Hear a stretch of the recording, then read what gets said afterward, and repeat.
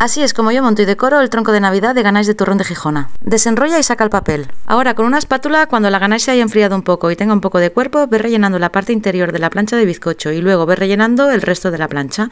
Guárdate un poco que luego se cubre el tronco por fuera. Tienes los vídeos de cómo hacer la plancha de bizcocho, dos vídeos anterior a este y el de la ganáis de turrón de Gijona es el vídeo anterior a este. Cuando tengas toda la plancha del bizcocho rellena, enrolla el tronco y quita el exceso de ganáis con la espátula. Rellena las puntas del bizcocho con la ganáis también para que queden bonitas. Ahora corta un trozo así diagonal.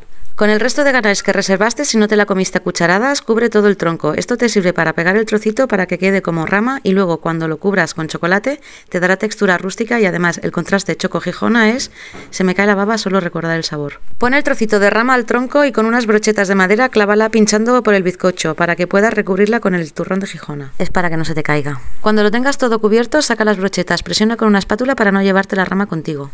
Esta es la textura que tiene que tener la ganáis de chocolate rápida, que se hace fundiendo al micro o al baño María 100 gramos de chocolate negro postres y 50 gramos de mantequilla. Los remueves, se integran los dos ingredientes y luego dejas enfriar removiendo de vez en cuando hasta que tenga la textura para que puedas trabajar con espátula. Cuando ya la tengas cubierta, da una última capa, ahora sí, haciendo la textura de la madera con la espátula. En esta parte siempre me enajeno mentalmente porque me pierde modelar y pintar y si es con chocolate...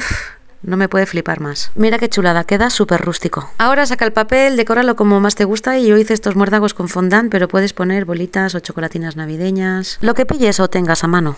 Ahora, eso sí, si mi tronco no hay brilli brilli, reviento. Puse unas bolitas doradas y los polvoreé con colorante alimentario en polvo oro, que le da un toque muy glamuroso. Ahora necesitas unas espátulas largas, de codo si es posible, y unos redobles de tambores para que no se te caiga al pasarlo a la bandejita de cartón o donde lo pongas. La espátula pequeña repasa el chocolate que al trasladarlo se puede haber perjudicado un poco y listo. Estas navidades te hacen la ola.